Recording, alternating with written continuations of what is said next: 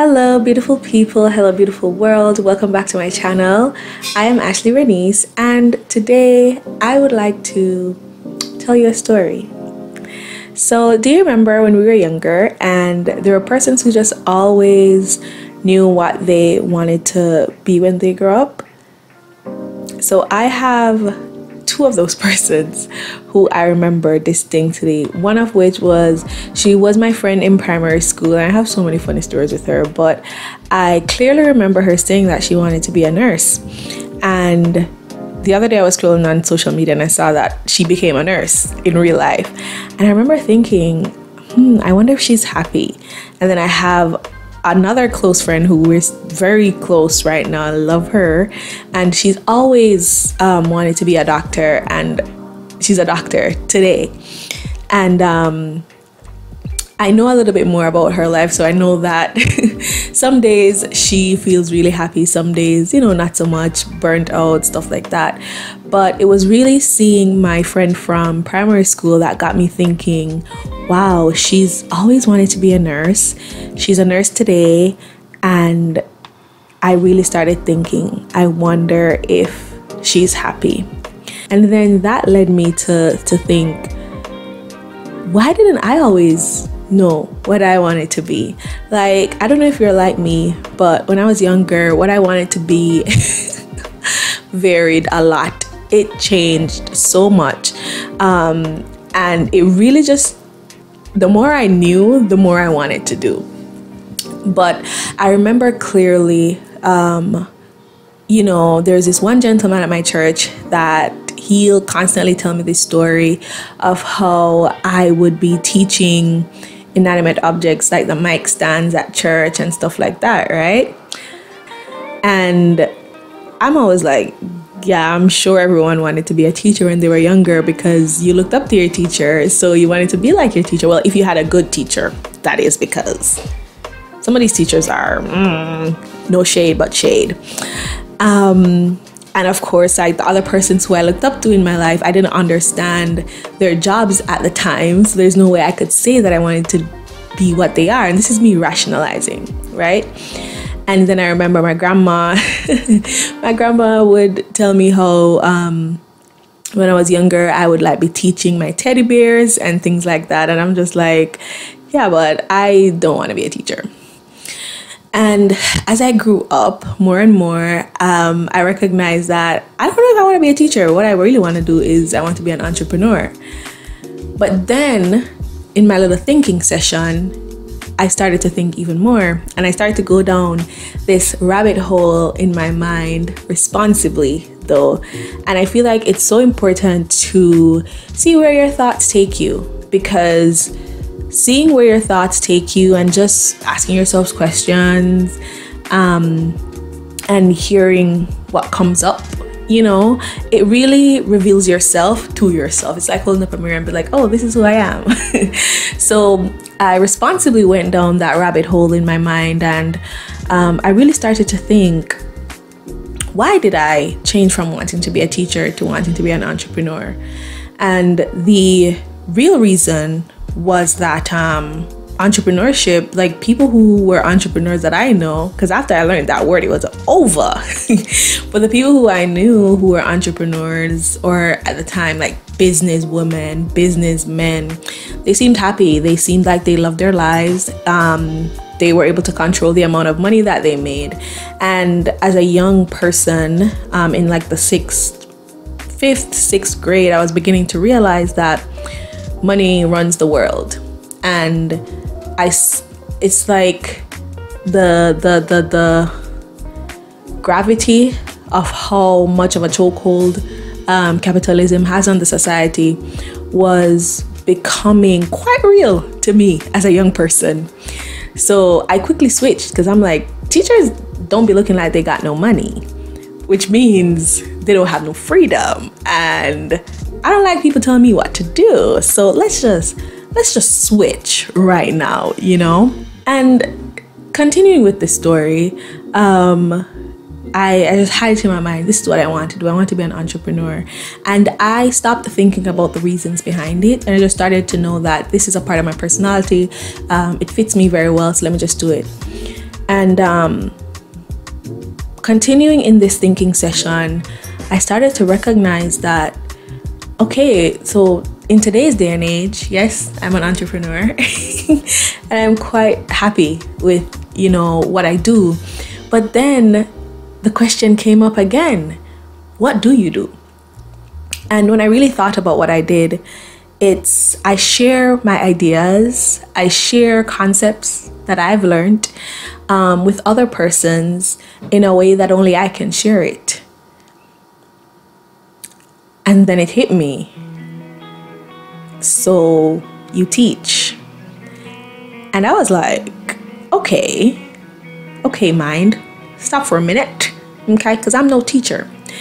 But then it was revealed to me that oftentimes the reason we veer so far away from what we felt like we were meant to be doing is for the same reason that I veered away, is because in the traditional sense that I was seeing it being done, I didn't think that those persons' lives matched up with how I wanted to live my life you know?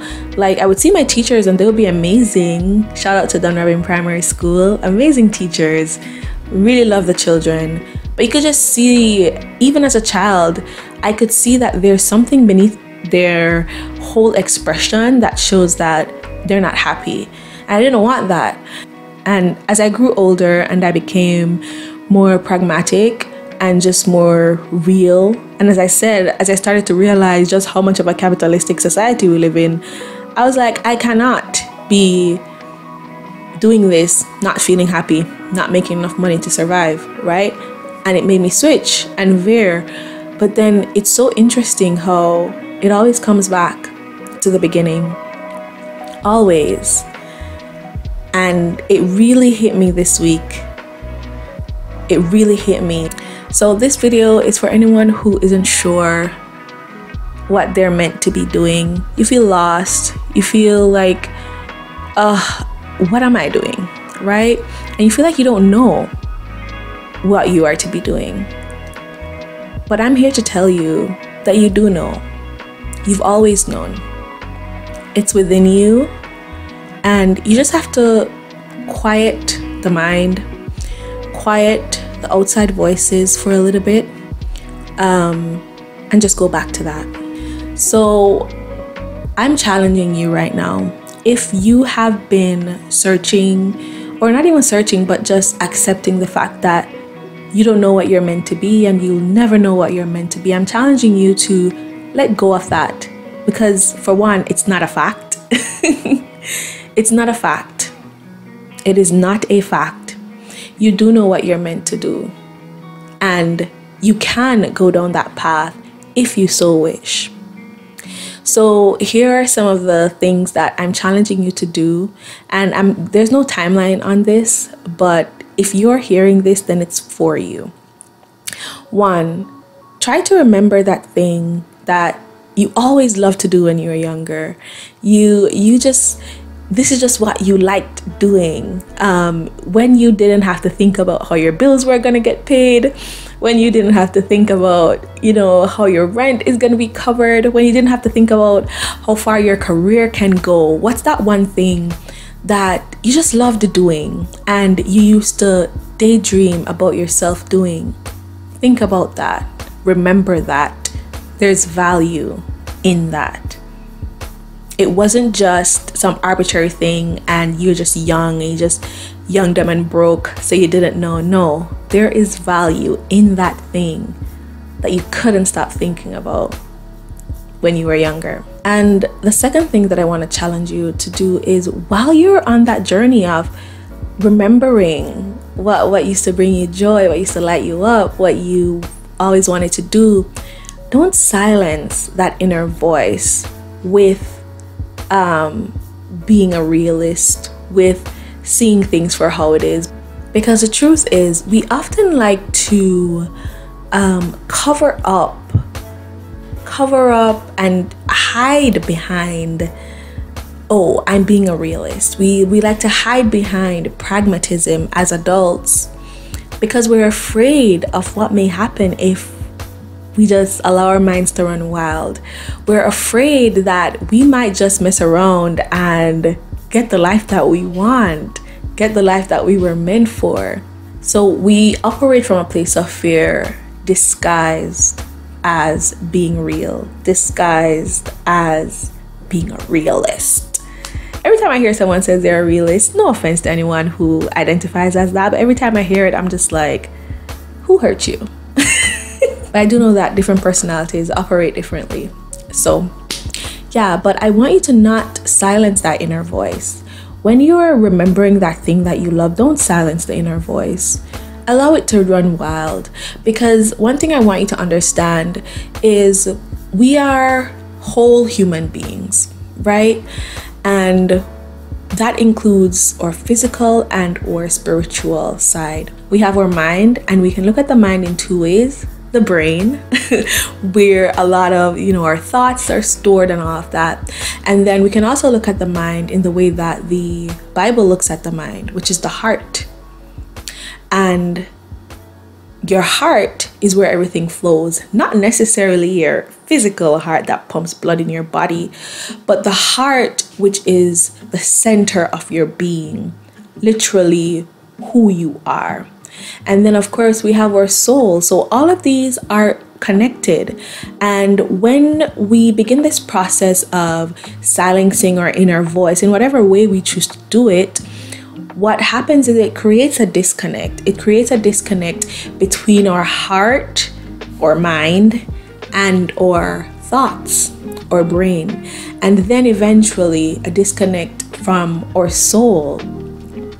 And when this disconnect happens, it, it makes living just so hard. It, it makes finding that happiness and that joy and that peace so much harder because we realize that peace comes from connection.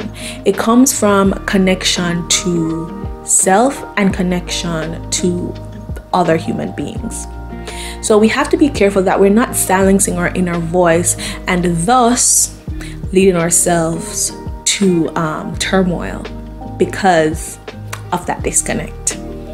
Then go out and practice that thing experience that thing that you always wanted to do. And do it in a way that feels good to you. You may have never seen it done before the way that you're thinking of doing it, and that's okay. Do it in your unique way and just examine how you feel. And I promise you that there will be a sense of joy and fulfillment that comes up doing it in a way that you feel like doing it. And I want you to rest in that, lean into that, feel that fully and entirely. Then, and only then, can you make an informed decision. You can decide if you want to continue living your life the way that you've been living it before, unhappy, unsure of yourself, or you can choose to walk in faith and go experience that fulfillment that you just experienced by doing what you've always wanted to do.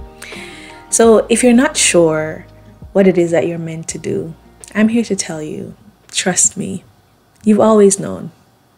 Now, just go live in it. Thank you so much for being here with me. It was not an easy road getting here, but I thank you for being here and I'll see you in the next video. Bye.